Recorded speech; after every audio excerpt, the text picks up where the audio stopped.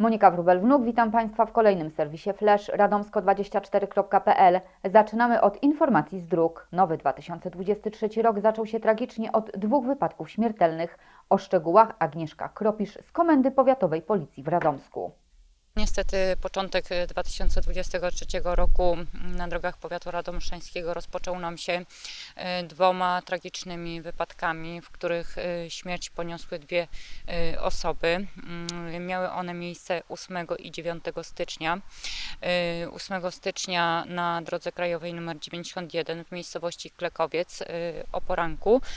Drugi z kolei 9 kolejnego dnia 9 stycznia y, w miejscowości Perzyny w gminie Wielgomłyny.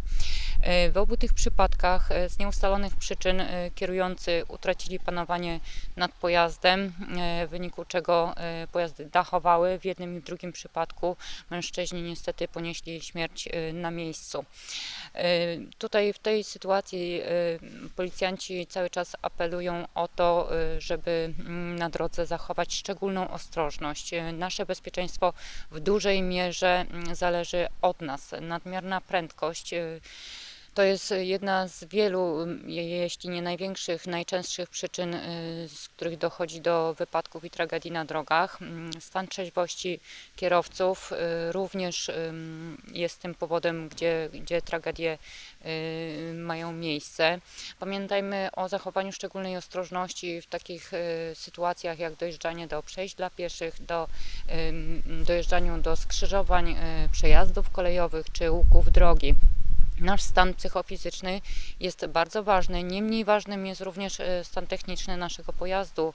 E, musimy tutaj e, wykazać naszą odpowiedzialność i pamiętać, że pojazd ma być na tyle sprawny, żeby nim wyruszyć w drogę, że układ hamulcowy ma być sprawny, że oświetlenie ma być sprawne, szyby mają być czyste. No więc tutaj jest mnóstwo takich elementów, które składają się na ten poziom naszego bezpieczeństwa bo tak jak powiedziałam, jeśli sami w pierwszej kolejności nie zadbamy o nasze bezpieczeństwo, y, skutki niestety mogą być y, tragiczne. Y, dużym, dużym problemem jest sposób wyprzedzania na drodze, wyprzedzania, omijania, wymijania, wykonywania prawidłowego manewrów tych powiedzianych, gdzie kierowcy niejednokrotnie robią to w sposób nieprawidłowy, dochodzi do zdarzeń. Sprawdzamy, co słychać w gminach powiatu radomszczańskiego. Skarbnik Kobiel Wielkich streściła dla nas budżet na 2023 rok i omówiła najważniejsze inwestycje, jakie są zaplanowane do przeprowadzenia. Budżet uchwalono 30 grudnia, dochody ustalono na nieco ponad 19 milionów złotych, wydatki zaś to ponad 23 miliony złotych. Te związane z inwestycjami to 5 milionów 118 tysięcy złotych.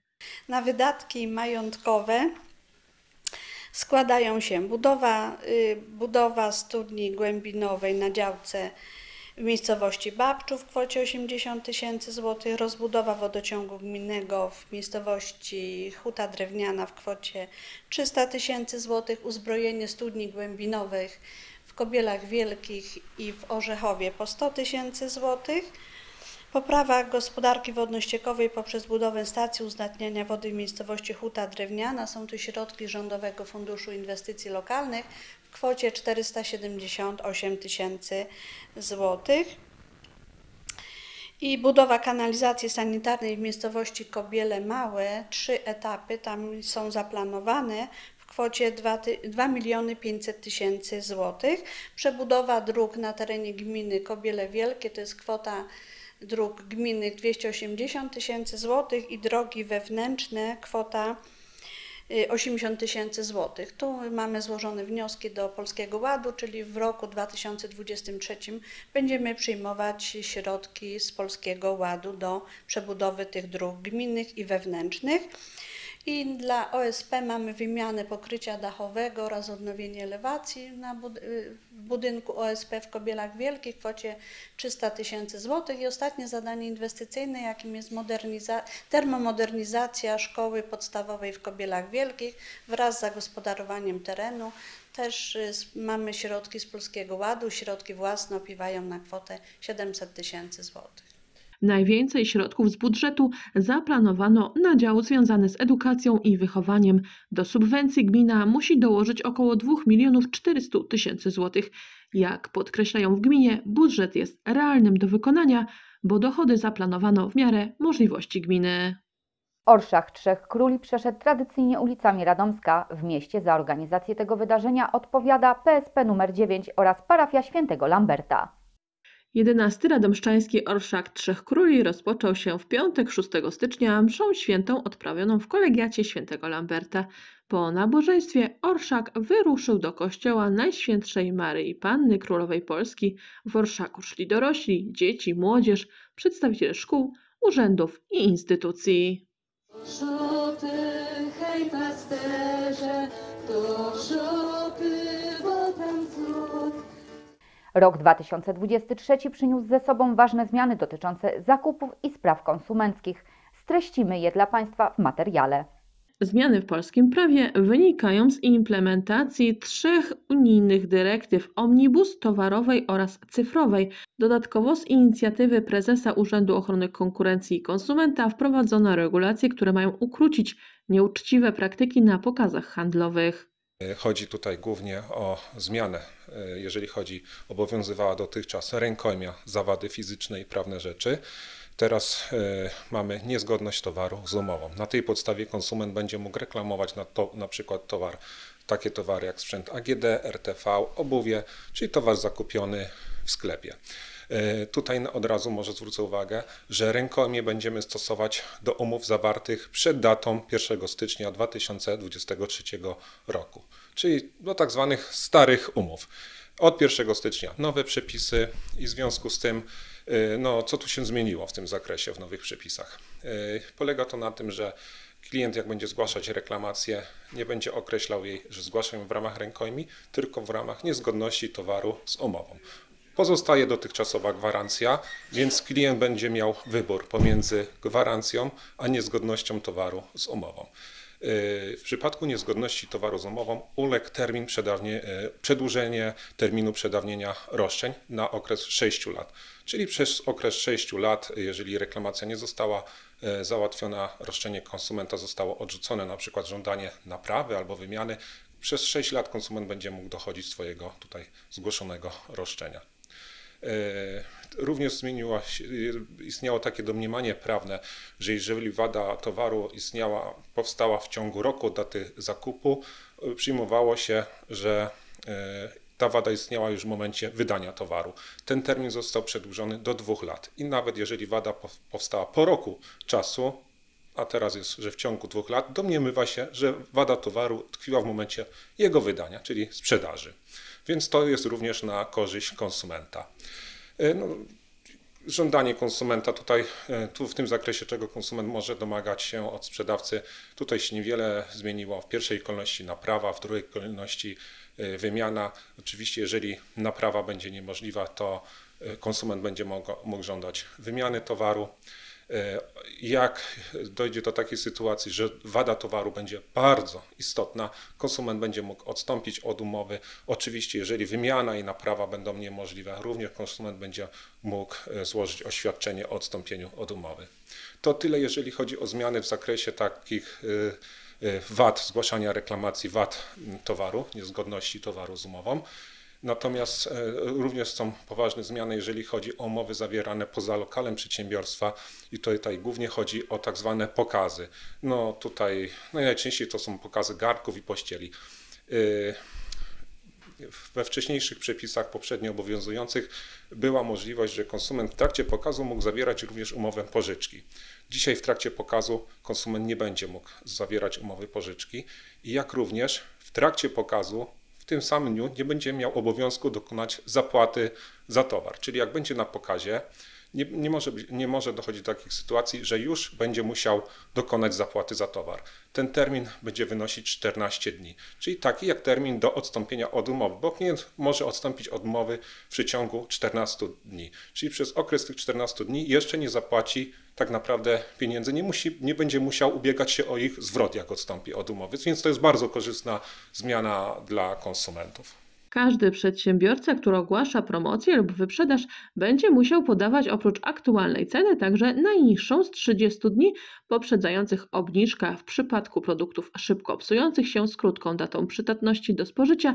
Sprzedawca ma uwidaczniać aktualną cenę i tę sprzed pierwszego zastosowania obniżki, natomiast w przypadku produktów będących w ofercie przedsiębiorcy krócej niż 30 dni, najniższą cenę od rozpoczęcia sprzedaży do wprowadzenia obniżki. Nie ma takiego obowiązku, jeśli przedsiębiorca zwyczajnie obniża cenę regularną bez ogłaszania promocji lub wyprzedaży. Informacje na początku roku nie mogą obejść się bez spraw budżetowych, a szczególnie dotyczących powiatu radomszczańskiego. Jeszcze na koniec 2022 roku radni przyjęli jego kształt. Dochody budżetu zaplanowano na kwotę bez mała 170 milionów złotych, wydatki na kwotę ponad 177 milionów złotych.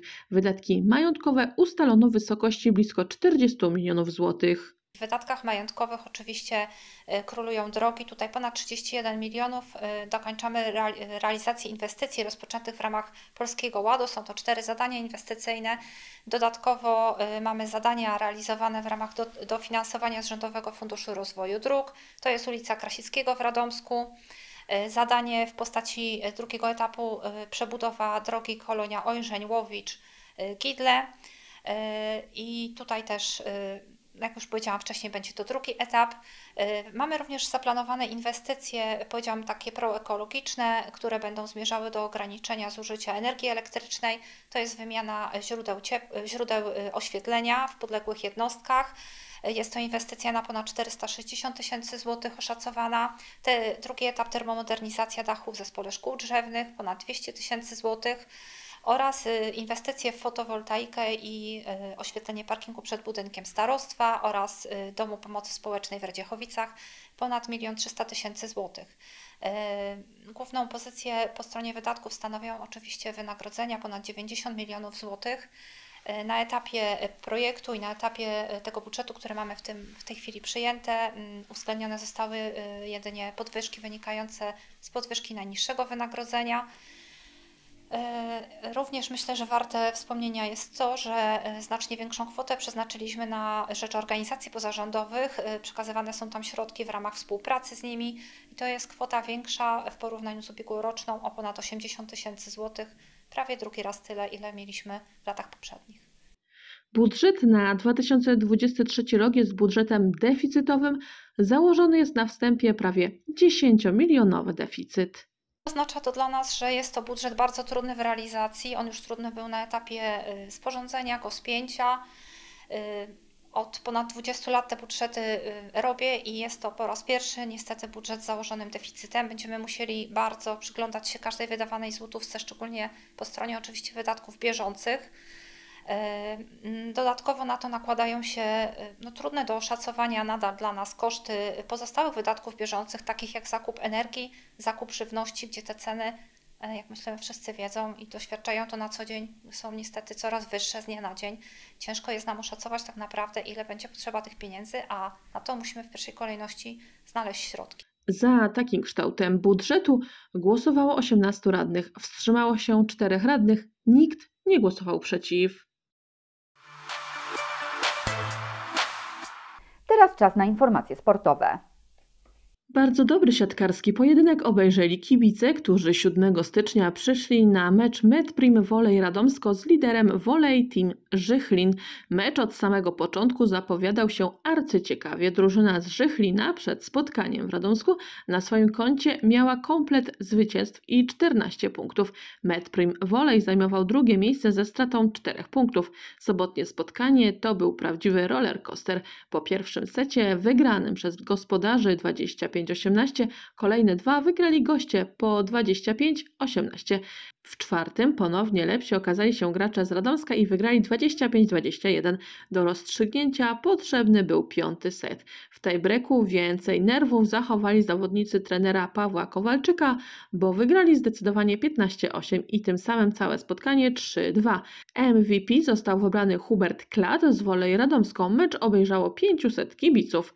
Wygrana Medprim Wolej Radomsko pozwoliła zbliżyć się do lidera na trzy punkty.